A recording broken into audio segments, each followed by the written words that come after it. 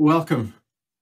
I want to give you a warm welcome from the Board of Governors of Tyndale University, the Chancellor, Dr. John Wilkinson, the faculty, staff, and alumni of Tyndale University.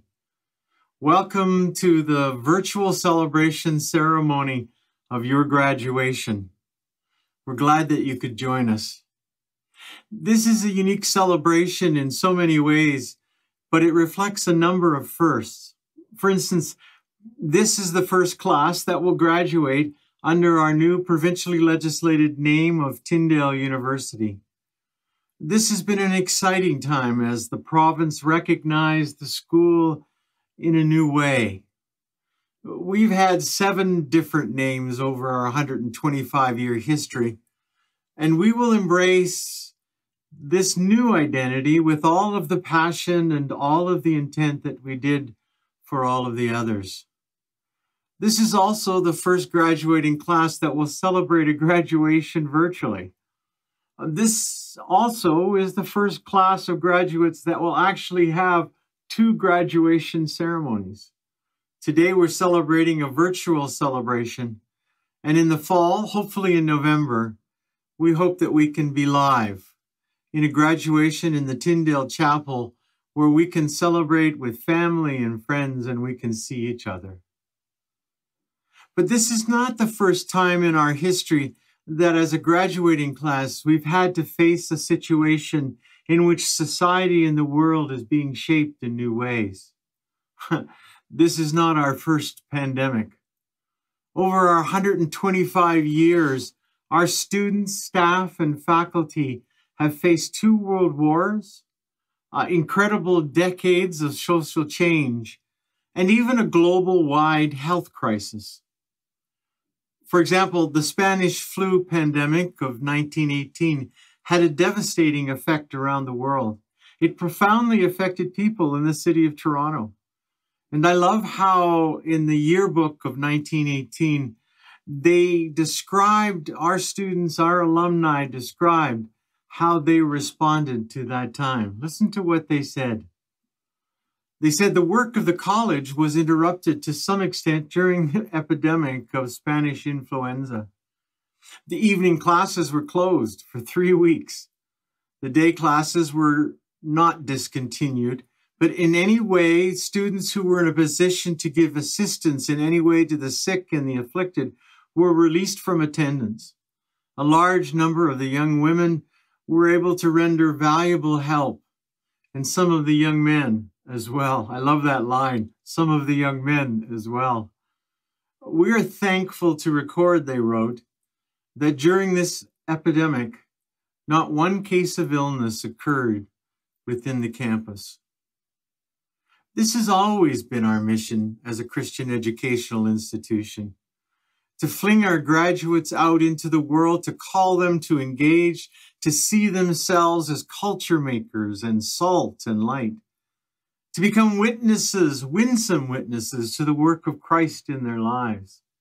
It's the kind of initiative that sends graduates from the classes into counseling and treatment centers, into law profession and business. It's the kind of thing that sends human people working in the human services and social work and even traditional church ministry roles. You can find our graduates in graduate schools and in places all around the world, in almost 50 countries. In each of these places, their faith is a driver into excellence and entrepreneurship. You shouldn't be surprised.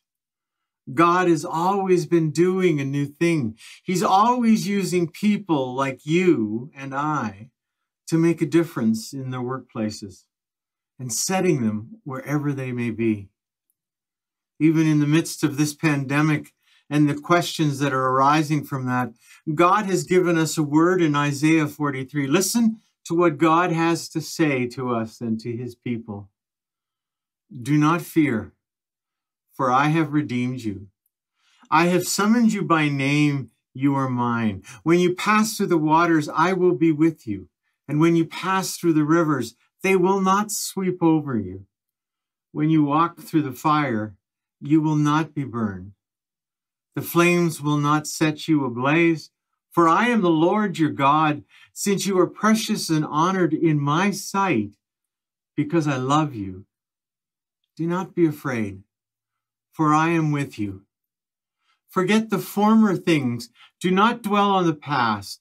I am making a way. I am doing a new thing for the people I formed for myself, that they might proclaim my praise. None of you or I were prepared for this new world that is emerging out of this time of social isolation and pandemic. None of us were.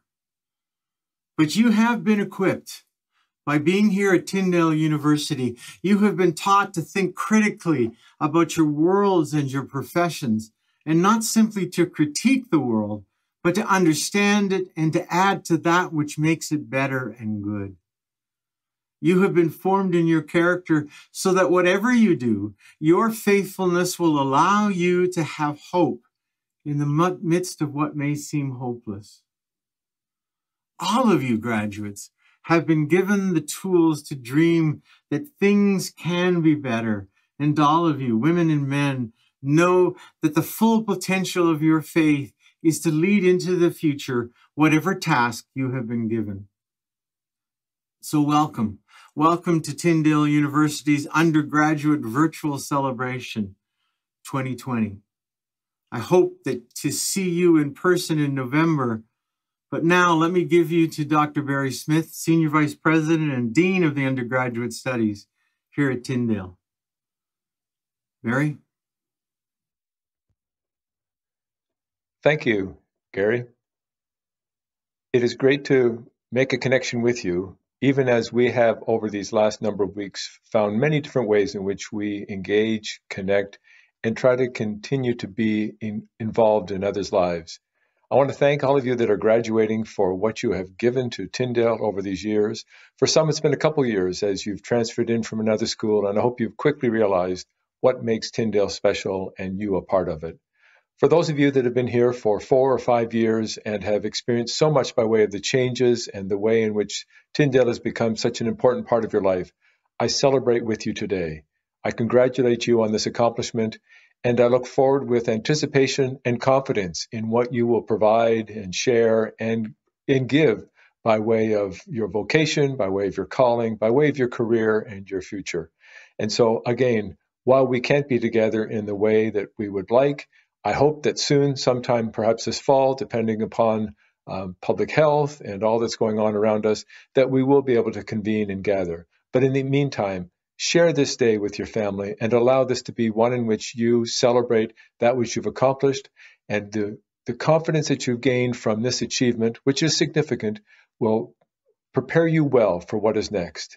And God knows, and we celebrate all that that will be. So, for this time and what we enjoy, while I won't get a chance to read your names, most of you being able to do it well and accurately, I look forward to the time when that can still be possible. But in the meantime, God bless, celebrate together, and may what this is today be something that is yet another milestone in your faith walk with Him and your realization that He knows you, He loves you, He goes before you, and all of this is in His care and in His hands. So again, God bless and may we continue into this time of worship, of celebration, and of remembering all that you have achieved in a way that brings honor to God and to you as well. Thank you, Dr. Smith. It's hard to figure out what to say in times like these. While we look outside to the situation of the world in this pandemic, we notice that there's a sense of bittersweetness in that we're celebrating these big milestones in our lives, like graduating from university, in a much different fashion than we expected we would. And we have to say goodbye to our expectations of how this season would unfold. But I noticed that in the same sense, even if we had been sitting together in the chapel at the end of May to receive our diplomas in person, I think that sense of bittersweetness would still be there. Because that sense accompanies the circumstance we're in, which is one of new beginnings and endings. And as we release and let go and step away from the safe, comforting, cozy, warm environment of Tyndale, we also look forward to new beginnings new beginnings that are scary and uncertain. And those are things that we would be feeling even if everything was normal. This bittersweetness, this grieving of what is ending, and this excitement and anticipation for what's beginning, this is a part of life, a part of the life stages that we're in right now. And that's something that we can celebrate and thank God for and walk through together. You see, Tyndale, one of the most important things that we've been given in our undergraduate education at this institution is preparation, not only for the rest of our Christian walk and our relationships with others, but also for the real world, where there are career advancements, corporations, interviews, important things like that, conversations with human resources.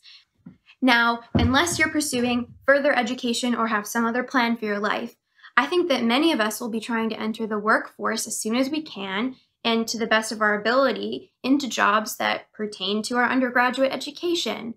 And I think one of the greatest things that we've learned in our time at Tyndale is how to present ourselves in an intelligent and professional way.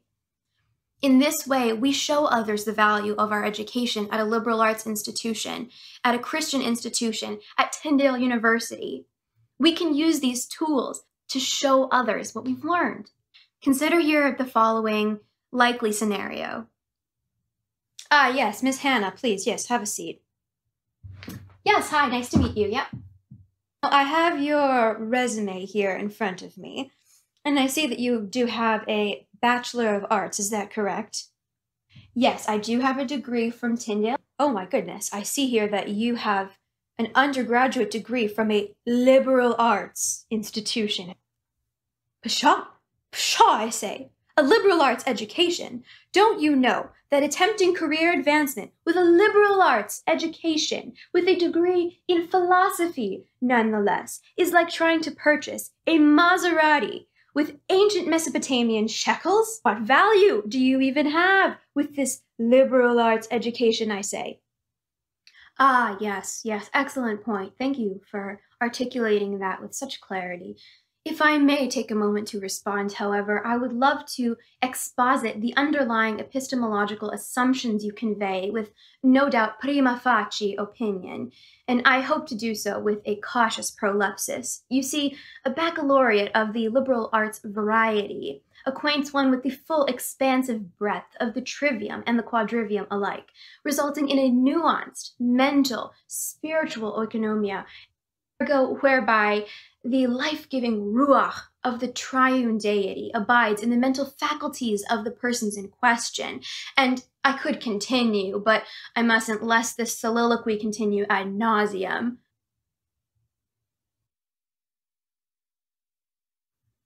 You're hired. And this scenario is just one of many that will no doubt confront us as we leave this place and go into a brand new, brave new world.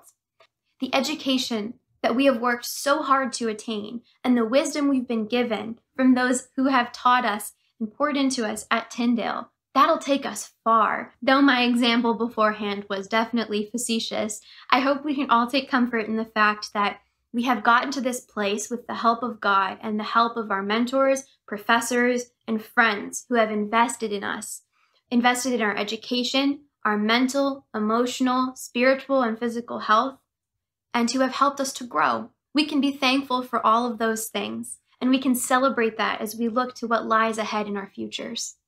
And with that, I am proud and excited to announce the Tyndale University undergraduate student class of 2020.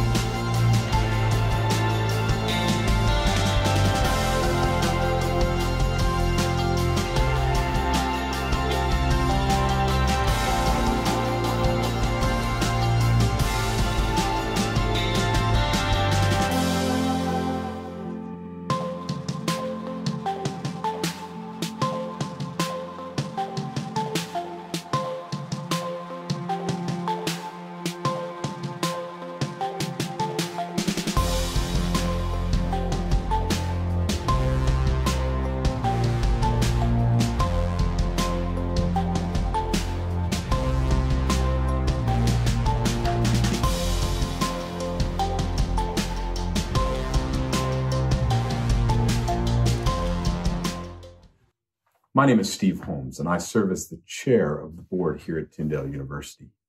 And on behalf of that board, it is my privilege to say congratulations. And thank you for choosing Tyndale. You know, it is a unique time. Normally, at this time, our graduation service is in the chapel, and we have sung some tremendous songs. And by the time I have gotten up to speak, all of you have received your your your graduation certificates, and you have had the opportunity to to say hello to Dr. Nelson and our chancellor, Dr. John Wilkinson, and and um, and some of your faculty. And today I am speaking to you individually, and it is different. And it's also different because one of the things that I love so much about graduation, I'm not getting to experience this year, and you aren't either. And that is the joy and celebration that comes with your family and your loved ones. And and and the joy of of hearing them celebrate when your name is announced. You know often i sit and i i spend a few moments and listen to the names and and who have been the big big people to celebrate in the midst of your being announced. And i say at the end of it let's all celebrate the entire graduating class. We don't get to do that. And so i am saddened by that but we have been blessed by your attendance at tyndale your commitment to creating a community, a community of people striving to learn, striving to be followers of Christ. You know, I've said many times the pace of change is faster than the pace of learning. And change occurs so quickly these days that we haven't even got a chance to adopt to one change when another one occurs. You are graduating in the midst of change. You are graduating in the midst when we thought we were in, in an opportunity for real growth and enhancement and opportunity for many, many ways of developing your careers, whether it's in ministry, whether it's in whatever it might be. And yet that has changed. And so as our board speaks to you, we want you to know that we will be praying for you in this graduating time as you navigate what this journey to your future looks like. And may God bless you and watch over you and give you peace and be gracious unto you. On behalf of the board of Tyndale University, congratulations. Enjoy the day. And I hope that in some not too far distant future, we can come together and truly celebrate the way it should have been.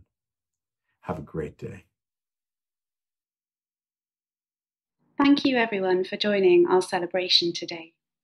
Celebration is a very important part of the Christian faith, and finding ways to set down markers and rejoice together as community is an act of hope, whether we do it in person or virtually, as we're doing today. It is my privilege to offer a prayer of dedication for you, Tyndale's graduates. So let's pray. Dear Heavenly Father, all good things come from you celebration, hope for the journey ahead, the promise of your faithfulness, and the gift of new life.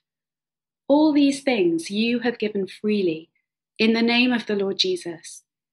And as Jesus taught us to pray, we begin with worship and thanks for the kingdom of God. Thank you that our study, our work, our service at Tyndale is part of the kingdom of God that is coming and has come. Thank you that it is part of our story that you meet our daily needs. You were present, Lord Jesus, when assignments were due, when there were difficulties or misunderstandings. You have forgiven us for things we broke and got wrong and you have brought many of us into places of new understanding and maturity as we worked for these degrees.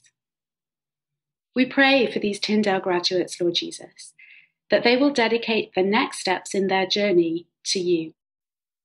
You once prayed that the world would see your love and your glory through your followers. A degree, a qualification earned, are so much more than passports to effective careers although we do pray for effectiveness.